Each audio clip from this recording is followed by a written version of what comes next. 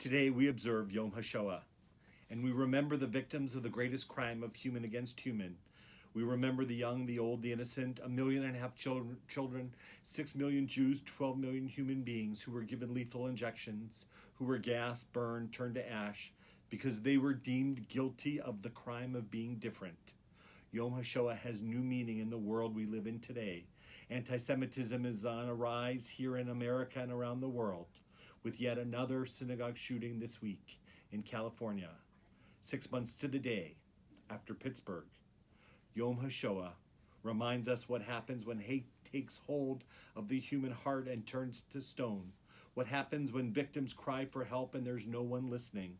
What happens when humanity fails to recognize those who are not in the image, are nonetheless in God's image.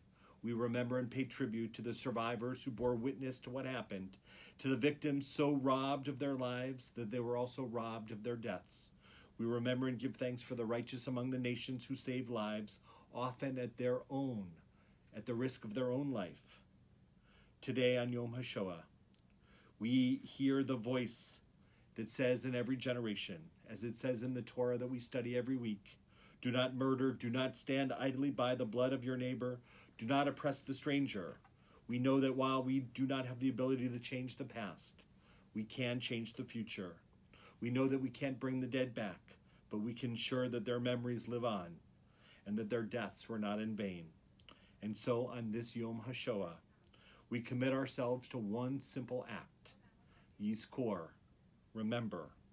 We are called to remember today, and we must fight for those who cannot fight for themselves. May their memories be a blessing. Amen.